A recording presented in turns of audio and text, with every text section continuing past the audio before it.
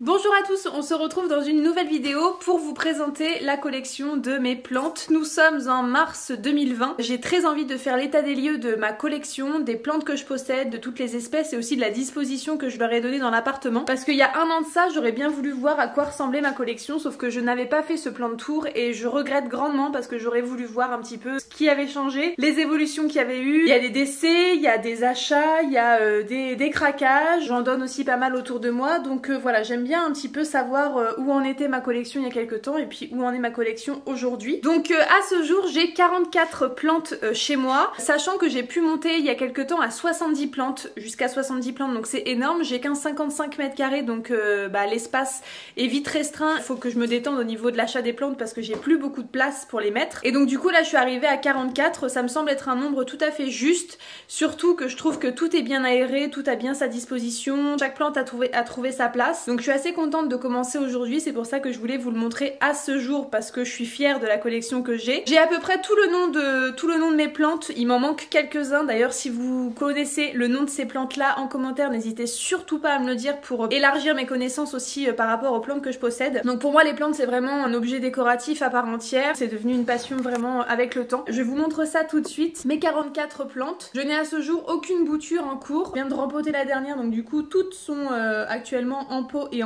je n'ai aucune bouture. Donc je vous montre ça tout de suite, on commence sans plus attendre. Donc le premier coin où il y a des plantes, c'est euh, ce petit coin là où j'ai ma Google Home et mon diffuseur d'huile essentielle. Donc en premier, on a une toute petite Peperomia. Elle est vraiment très jolie, elle est en train de me faire euh, une petite fleur juste là. J'aime bien son petit design, elle est sympa, j'aime beaucoup les couleurs de ses feuilles. Et euh, j'espère qu'il va grandir un peu plus. Et je l'ai mise dans un beau cache-pot de chez Madame Stoltz. Juste en dessous, quand on descend, on a mon ficus comme ceci. Mon ficus ginseng qui est dans un pot sur pied. Sauf que c'est un ficus qui plaît énormément à mon lapin. Voilà, il a mangé certaines feuilles. Euh, il y en a d'autres qui repoussent euh, néanmoins. Donc euh, voilà, je laisse ici, mais j'essaie de surveiller Roger qu'il qu'il le dégomme pas trop mais c'est vrai que c'est un peu tentant pour lui donc c'est peut-être pas la bonne place, faudrait que je vois pour changer. En tout cas il est là et puis il, a, il, a, le mérite d'être joli. Et quand on remonte un petit peu euh, dans ce coin ici, on a mon potos néon qui est accroché euh, la tête en bas dans un pot qui est fait exprès. Donc euh, j'aime beaucoup beaucoup cette plante, je le trouve vraiment très très beau et il se plaît énormément dans ce système tête en bas. Donc voilà, j'aime beaucoup les effets un petit peu décoratifs que ça donne. Et puis c'est euh, peu commun d'avoir une plante euh, la tête en bas. Ça fait pas mal réagir mes invités quand ils viennent et qu'ils la voient. Donc euh, je suis assez contente de cette plante qui est très jolie et qui a beaucoup beaucoup poussé depuis que, depuis que je l'ai eue. Ensuite sur mon meuble télé, on a un très très beau spécimen dont je suis hyper fière. C'est mon bégonia Tamaya. C'est un bégonia avec des, des feuilles tachetées comme ceci, avec des points blancs. Je le trouve juste sublime. Alors c'est une plante que j'ai eue en solde dans ma jardinerie. Je l'ai eu à moins 70% et elle était vraiment en très piteux état quand je l'ai adoptée et là elle est repartie de plus belle et elle me fait des feuilles sans arrêt. J'ai euh, une nouvelle feuille là qui est en train d'arriver, J'en ai euh, une deuxième là-bas qui est aussi en train de pousser. Enfin bref, elle arrête pas, elle m'en fait tout le temps, tout le temps. Et j'ai plein de petits boutons qui sont en train d'apparaître, donc je suis trop contente de cette plante. Elle fait sûrement partie de mon top 3 parce que je la trouve vraiment sublime. Ensuite, dans ce petit euh, cache-pot inspiré carotiment comme ça, on a deux petits bébés impatience goutte de sang. C'est des impatiences que j'ai récupérées chez un, chez un monsieur qui en vendait des boutures. Elles m'ont coûté 50 centimes chaque, donc je suis trop contente de les avoir récupérées. Et puis elles me font déjà plein plein de petits bébés tout au long des tiges, donc je suis très très contente, j'ai hâte qu'elles poussent parce que l'impatience goutte de sang, c'est un peu la, la plante à la mode en ce moment, tout le monde en parle et puis bah, je suis contente d'avoir euh, les miennes. Et puis il y en a une plus grosse euh, par là-bas que je vous montrerai du coup euh, tout à l'heure. Mais j'aime beaucoup cette plante là et j'ai hâte qu'elle pousse pousse pousse parce qu'apparemment une fois qu'elle se sent bien chez vous, elle prend des proportions un peu incroyables. Ensuite quand on remonte de ce côté-là, on atterrit sur trois étagères où j'ai fait du coup une petite composition de plantes. Donc la première c'est ma spider plant comme ceci, donc ma plante araignée qui est vraiment très très belle. Mon chlorophytum, je l'aime beaucoup beaucoup et donc elle se plaît bien ici euh, pas trop à la lumière mais euh, pas trop à l'ombre non plus. Donc voilà pour mon petit euh, chlorophytum. Ensuite quand on remonte là-haut, on a mon potos argenté ici qui est en train de pendre et qui me fait une très très belle liane jusqu'en bas. Il me fait déjà des nouvelles pousses. Donc voilà, je suis contente de cette plante là, je l'aime beaucoup beaucoup. Et c'est aussi la plante préférée de mon frère. Euh, la sienne aussi est assez incroyable et pousse vraiment très très bien. Donc euh, voilà pour mon petit poteau sargenté. Et à côté on a un petit syngonium. Alors lui qui a eu quelques misères, il a, eu pas mal de, feuilles qui sont mortes et d'autres qui ont euh, plus ou moins résisté. Donc je sais pas si c'est vraiment la bonne place ici. Mais voilà, il a vraiment des très belles feuilles qui sont assez particulières et que j'aime beaucoup. Donc voilà, dans son petit pot de chez Madame Stolz aussi. Ça c'est vraiment une marque de cache-pot que, que j'adore et je trouve qu'il se marie très très bien avec chacune de mes plantes. Et ensuite sur la troisième étagère, on a mon philodendron Brasil comme ceci. Euh, qui se porte bien également, qui pousse très très bien. Donc là il y a une grande liane qui tombe, je suis pas sûre de la laisser comme ça. Je l'aime beaucoup et puis euh, il a le mérite d'être très décoratif dans, ma déco. Ensuite on continue euh, par là-bas et là on a, euh, ma composition de plantes la plus importante de l'appart. Donc en commençant par mon potos Marble Queen juste ici qui est un petit peu l'une de mes plus grosses pièces puisqu'il est vraiment juste gigantesque et il descend assez bas. Il a vraiment de très belles feuilles avec euh, ces petites marbrures qui sont qui sont très connues et qui sont très caractéristiques de cette plante. Donc euh, voilà, une, plante que j'aime beaucoup aussi et qui se plaît très très bien, qui monte, euh, qui va un peu partout sur les côtés. Je trouve ça, je trouve ça sympa de, jouer avec ces lianes. Justement, juste en dessous de ce potos, on a mon impatience goutte de sang qui est cette fois un tout petit peu plus grande que les deux autres que je vous ai montré tout à l'heure. Donc elle, voilà, je l'avais payée un peu plus cher que les autres parce qu'elle était plus grande et elle commence encore à me faire plein plein de petits bébés tout au long de ses tiges. Donc je suis trop contente. Je pense qu'elle va, être, euh, va être très très grande quand elle aura euh, atteint l'âge adulte. Donc là, c'est encore un bébé pour le moment. Puis je l'ai mis dans un cache-pot comme ceci. En fer noir, je trouve euh, ça va très très bien ensemble. Ensuite, quand on continue sur le meuble, vous avez ici mon coléus. Une plante que j'adore qui vient de me sortir justement une fleur et qui est sur le point de m'en sortir une deuxième là-bas. Je le trouve vraiment super beau ce coléus. Il a eu pas mal de misère, il était très très grand avant. Roger s'en est occupé, il l'a en grande partie bouffé. Bah, j'ai essayé de, le sauver, puis j'ai bien réussi parce qu'il est en train de repartir de plus belle. Donc voilà, mon coléus qui est vraiment euh, sublime et euh, que j'adore. Franchement, c'est une de mes plantes préférées. Elle fait peut-être aussi partie de mon top 3. Ensuite, juste en dessous, on a euh, ma Tradescantia zebrina. Voilà, avec ses reflets pourpres et argentés, je la trouve super belle. Donc c'est une misère. Les misères et moi, on n'est pas très copines d'habitude. Celle-ci a l'air de se plaire plutôt pas mal chez moi, donc on va voir ce que ça va donner et si elle va pousser comme je le voudrais beaucoup beaucoup. Ensuite à côté on a une plante euh, que j'adore. Bon elle aussi elle fait peut-être partie de mon top 3 mais du coup euh, bah il n'y a plus assez de place pour, euh, pour tout le monde dans le top 3. C'est mon Pilea aluminium de son petit nom. Il est vraiment sublime, j'adore cette plante et puis elle pousse, elle pousse, elle pousse, elle n'arrête pas. Je suis complètement fan de cette plante, elle me refait plein plein de petits bébés, plein plein de nouvelles feuilles donc je suis trop trop contente et c'est une de mes plantes préférées également. Donc euh, voilà, un petit euh, Pilea aluminium que j'aime beaucoup beaucoup et donc du coup qui est placé à côté du Pilea peperomioide, c'est dur à dire également. Donc voilà, ça c'est certainement ma plante préférée, ça c'est sans aucun doute mon top numéro 1, c'est euh, ma plante euh, coup de cœur. Je l'adore, je la trouve vraiment magnifique, avec ses petites feuilles rondes comme ceci. Elle est en train de me faire plein plein de rejets que je vais pouvoir replanter, donc il y en a un là, un autre là, je crois qu'elle en a quatre à ses pieds. Donc je suis trop contente, elle est en train de me faire plein de petits, euh, bébés pour plein de nouvelles plantes. Et donc voilà, elle est dans un pot aussi Madame Stoltz que j'adore. Et celle-ci par contre, euh, j'ai pour projet de la mettre en hauteur ici euh, pour qu'elle soit un petit peu plus mise en valeur et que je puisse euh, encore plus en profiter que là. J'adore cette plante, je la trouve trop trop trop trop belle. Juste au-dessus du coup on a mon Ripsalis qui est plutôt mignon, qui se plaît pas mal et qui me fait pas mal de, pas mal de tiges nouvelles. Donc euh, voilà, tout ça là par exemple c'est nouveau. J'aimerais que plus tard il soit vraiment très très fourni comme les Ripsalis de mes rêves et qu'il tombe de partout du pot de tous les côtés. J'aimerais beaucoup euh, avoir cet effet là. Donc voilà pour mon petit Ripsalis. Ensuite si on descend là-bas on a un autre bégonia Tamaya mais cette fois d'une variété un peu différente. Les points sont beaucoup plus petits et sont beaucoup plus nombreux que sur l'autre que je vous ai montré tout à l'heure. Et ça c'est une bouture d'une plante que j'ai récupérée chez une amie donc j'y tiens énormément. Elle arrête pas sans cesse de me refaire des nouvelles feuilles. Il y en a une ici il y en a une qui doit arriver, euh, bah il y en a une voilà, une toute nouvelle qui arrive euh, là-bas. Je le trouve juste magnifique. Voilà, une de mes plantes aussi euh, préférées. Ensuite, si on descend ici, on a une toute petite plante, enfin toute petite non, qui commence déjà bien à grandir. Donc c'est un pépéromia, il me semble. Surtout corrigez-moi si je me trompe dans le nom de mes dans le nom de plantes. Je suis pas je suis pas sûre de les avoir tous par cœur. Donc voilà, un petit pépéromia avec des feuilles rondes comme ceci qui est trop mignon et euh, qui a énormément poussé depuis que je l'ai eu. Il était vraiment tout bébé et puis là il, est, il commence à fondre de partout. J'adore ça, j'adore cet effet. Ravie de cette petite plante aussi qui est euh, très mignonne. Et ensuite quand on continue sur la droite, on a ma Monstera euh, Deliciosa que j'ai acheté récemment chez Lidl et qui est vraiment super belle. Donc elle pareil, elle est en train de me faire plein de nouvelles feuilles. Il y en a une juste ici qui vient de sortir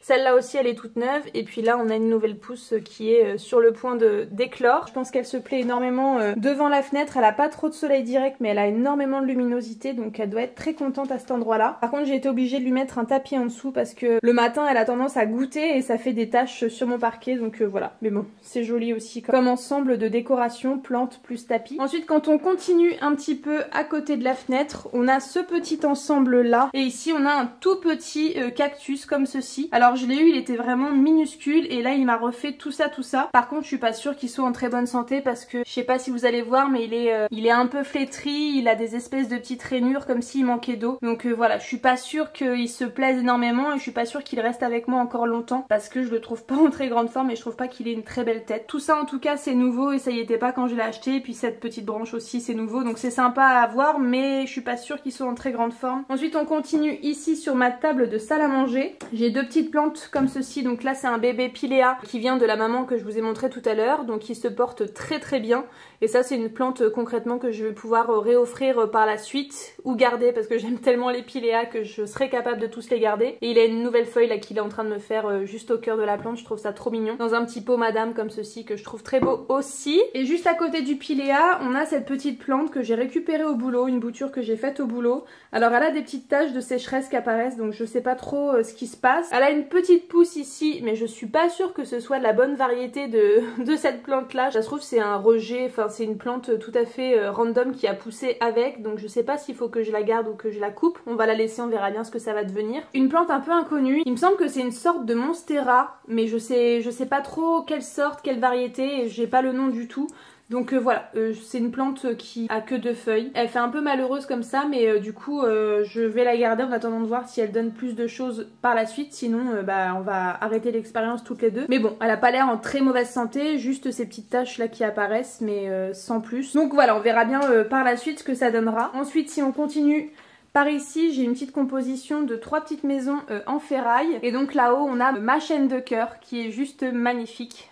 Je suis trop trop fière de cette plante qui descend, qui descend. Et en fait euh, au lieu de la faire descendre et euh, de gâcher un petit peu tout le reste de la déco en bas, j'ai voulu la faire un petit peu dévier et puis accrocher sur un clou comme ça la faire redescendre tout en bas. C'est une plante que je trouve magnifique et puis elle me fait plein de petites fleurs euh, quand vient les beaux jours. Donc euh, voilà, ma chaîne de cœur qui est juste sublime. Ensuite en bas, on a un espèce de petit syngonium. Je pense que c'est un syngonium parce que les, les, feuilles ressemblent énormément à celui que j'ai déjà. Sauf que lui, il est un petit peu plus sous format liane. Alors il a que deux feuilles également. Mais je me suis aperçue qu'il y avait par exemple une nouvelle pousse qui allait arriver juste ici et une autre également qui allait arriver juste ici. Donc euh, je me dis qu'elle va bientôt me faire des nouveaux bébés. Je vais voir aussi euh, ce que ça va donner, ce qu'elle va devenir cette plante, mais c'est vrai qu'elle est très jolie, puis elle est, elle est marrante comme ça avec ses lianes euh, et ses deux petites feuilles juste au bout, donc euh, voilà, pour l'instant elle est avec moi, elle va rester, puis on verra bien ce que ça donnera par la suite. Et la dernière petite cabane en bas, c'est un peperomia également, comme ceci, qui est, qui est mignon. Je sais pas trop le nom qu'il a exactement ce peperomia, mais il est sympa. Il a quelques feuilles qui jaunissent parfois, donc je, je lui enlève. Ça, je suis sûre que c'est Roger, par exemple, qui est venu bouffer ici. Par contre, comment il a fait, j'en sais rien. Parce que c'est assez haut quand même. Enfin bref. Petit pépéromia, c'est sympa. Euh, c'est assez décoratif. Donc euh, je suis assez contente d'avoir ce genre de plante chez moi. Ensuite, on continue euh, sur la droite et on a mon ficus elastica, donc mon caoutchouc, qu'il faudrait que je dépoussière parce que du coup, je vois qu'il y a de la poussière qui s'est accumulée dessus. Il est vraiment super beau. Il arrête pas de me faire des nouvelles feuilles. Donc là, il y en a encore une qui est en préparation et qui va bientôt se dérouler. Une plante que j'aime beaucoup, beaucoup, beaucoup. Ensuite, à côté du panier de Roger, on a mon zamioculcas qui est sublime et qui m'a été offert par une amie. Donc j'y tient comme à la prunelle de mes yeux. Il a grandi énormément depuis que je l'ai installé euh, à cet endroit-là. Et il est en train de me faire plein de nouvelles pousses. Donc il y en a une ici, il y en a une ici et une troisième quelque part. Une plante qui se plaît énormément chez moi, que j'adore et que j'aime de plus en plus. Plus elle se développe et plus je l'aime. Ensuite à côté on a une plante que euh, j'aime moyennement, moyennement. C'est mon Pachira qui me fait plein de nouveaux bébés mais je trouve qu'elle a, une, dégaine un peu, un peu bizarre. Elle est super en hauteur et elle est pas vraiment fournie sur, euh, sur les côtés. Donc voilà, je l'ai mis sur un pied à roulette où je peux la déplacer de temps en temps, mais euh, je trouve pas qu'elle ait un look particulièrement sympa. Ses feuilles elles peinent un petit peu à se développer. Pourtant je l'arrose, hein, je la néglige pas, mais, mais bizarre. Ensuite quand on continue sur la droite de mon Pachira, on a une rose qui m'a été offerte mais qui est complètement morte. Par contre en haut, on a, euh, je crois que c'est un autre Peperomia qui est euh, vraiment en très très bonne santé et qui adore par contre avoir la pleine lumière parce que lui le soleil tape vraiment directement dessus et euh, il est vraiment très très beau avec ses petites feuilles rondes comme ceci. C'est des feuilles super épaisses qui sont, euh, voilà, qui sont assez charnues et je pense qu'il a pas mal de réserves d'eau à l'intérieur pour survivre seul. Et voilà, c'est une plante qui me, plaît beaucoup et que je trouve très marrante euh, à regarder comme ça. Ensuite, on arrive au salon. On a un cul de lapin juste ici qui vous accueille. Et on arrive sur la table basse avec un autre pépéromia, il me semble. Cette fois-ci, il a les contours un petit peu des feuilles roses. Alors ça, c'est une brûlure de bougie parce que je l'avais mis trop proche de ma bougie qui était là avant. Bah, il a un peu cramé. C'est une plante qui me plaît pas tant que ça. Euh, je la trouve sympa, mais sans plus. Elle a des nouvelles feuilles qui sont en train d'arriver. Donc, elle en a une petite ici et une ici. C'est pas une plante que j'apprécie particulièrement elle est là pour l'instant. Est-ce qu'elle y restera? On ne sait pas, seul l'avenir nous le dira. Ensuite, quand on remonte au-dessus du canapé, on a ce beau Bossarnea, je crois que c'est comme ça que ça se prononce. C'est une grosse plante avec un gros pied comme ceci qui nous fait plein plein de rejets sous forme de fil un petit peu. Je la trouve très originale et je la trouve très jolie euh, mise à cette place-là. Et puis je trouve qu'elle décore tout à fait euh, cet endroit de l'appartement, j'aime beaucoup. Ensuite, quand on descend, on a euh, juste à côté du canapé mon cactus de Noël. Donc mon cactus épiphyte qui se porte très très bien, qui m'a fait plein plein de fleurs cet hiver. Et là du coup qui se met un petit peu en hibernation pour me préparer de nouvelles fleurs euh, l'hiver prochain. Je la trouve vraiment très très belle. Elle me fait plein de nouvelles feuilles euh, à chaque fois. Donc euh, voilà, elle se plaît beaucoup à cet endroit là. Ensuite on continue un petit peu sur la droite. Et là on arrive à un autre ensemble de plantes comme ceci. Donc tout là-haut on a mes Sansevieria. donc on a les trois sortes. On a la langue de belle-mère. On a celle qui fait des petits pics là. Et puis celle-ci qui est un peu plus classique. C'est pas des plantes que j'apprécie particulièrement. C'est pour ça aussi qu'elles sont là-haut. Par contre elles ont le mérite d'être très Et par exemple ici elles n'ont pas beaucoup de lumière mais elles résistent tout à fait euh, au fait qu'elles sont un peu dans, la pénombre. Des plantes qui ont le mérite d'être ici mais qui m'enchantent pas particulièrement. Ensuite en descendant on a dans une petite théière une autre Tradescantia que je viens de, que je viens de replanter. Donc elle c'était une bouture que j'ai récupérée chez mon frère. Dans une petite théière je trouvais que ça faisait euh, très joli et puis elle est très belle elle aussi donc j'ai hâte de voir si elle va euh, survivre et si elle va pouvoir me faire plein de nouvelles tiges. J'ai hâte de voir ça. Et ensuite ici que j'ai fait remonter un petit peu sur un crochet c'est ma lipstick plante qui fait des grosses feuilles comme ça à terme un petit peu charnues. Elle m'a fait plein de nouvelles tiges, elle est vraiment très jolie et j'aime beaucoup moi les plantes pendantes. Une autre plante pendante dans mon appartement. Ensuite quand on descend, on atterrit sur mon potos Enjoy comme ceci qui est vraiment très très beau et qui a la particularité euh, de ses feuilles blanches et vertes. Je l'aime beaucoup beaucoup ce potos, je pense qu'il se plaît bien à cet endroit là. Alors il a chopé des espèces de petites chenilles il y a pas longtemps donc je lui ai mis de l'insecticide donc j'espère que ça va pas trop lui faire de mal. Mais en tout cas il est vraiment très très beau et puis euh, j'aime beaucoup beaucoup cette plante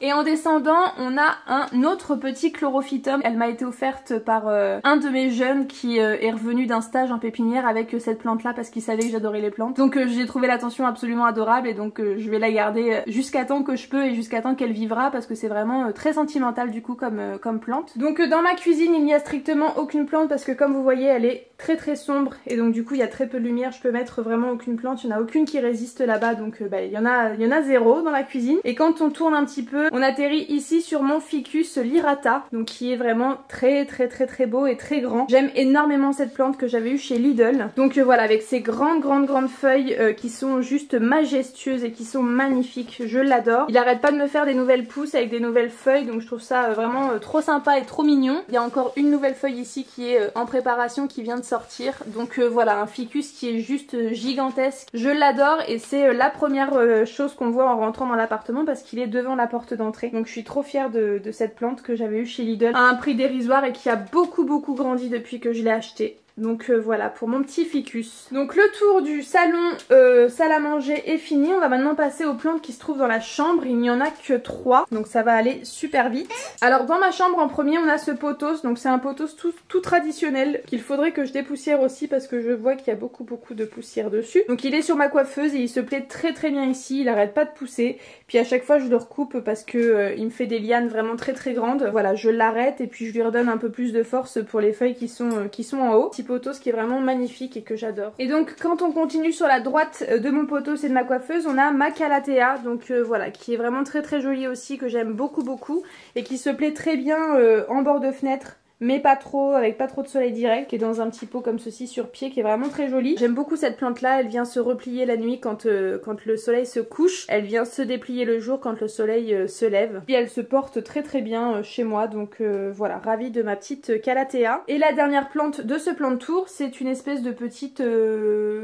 sais pas ce que c'est comme plante en fait. Ah, c'est une plante avec des espèces de petites feuilles comme ceci, très charnues. Alors elle se plaît pas trop, pas trop trop en ce moment. Elle me fait plein de tiges, des garnie comme ça. Elle a pas mal de feuilles qui sèchent aussi, donc j'ai essayé de la faire un petit peu grimper là-haut, mais voilà, elle est pas en très très bonne santé et je suis pas sûre qu'elle qu'elle survive avec moi encore très longtemps. Avant elle était beaucoup beaucoup plus fournie, elle avait une euh, peut-être une dizaine de tiges et puis elles sont toutes mortes les unes après les autres et là il en reste que trois tiges survivantes. Mais vous voyez que celle-ci elle a quasiment plus de feuilles dessus donc je sais pas trop ce que ça va donner, elle reste là pour l'instant, on verra bien ce que ça va euh, ce que ça va rendre par la suite. Mais en tout cas, euh, voilà, la dernière pièce de ma collection. Donc euh, voilà pour le tour de ma collection de plantes. Je me suis mise sur mon lit pour euh, finir cette vidéo et continuer à vous parler. J'espère que ça vous aura plu. Moi, je sais que ça va me servir, par exemple, dans un an. J'aurais envie de savoir, il y a un an, combien de plantes j'avais et ce que j'avais fait comme disposition de plantes, comme arrangement et compagnie. Je suis très contente d'avoir fait cette vidéo. Moi, c'est une vidéo que j'adore regarder sur les chaînes des autres. J'espère qu'il en sera de même pour vous avec ma vidéo et avec ma collection. Alors, c'est une collection tout à fait, euh, tout à fait classique. Il n'y a pas des plantes très très rares. Mais en tout cas, c'est des plantes qui me plaisent. Voilà, j'espère que ça vous aura plu. Moi, j'ai adoré faire ça. J'ai adoré faire le tour de mes plantes et puis constater un petit peu euh, l'étendue de ma collection. Je pense que je ferai ça tous les ans. On se retrouve dans un an pour euh, voir comment ça a évolué et puis s'il y a eu du changement dans ma collection, s'il y a eu des petits changements de place, des changements, des achats.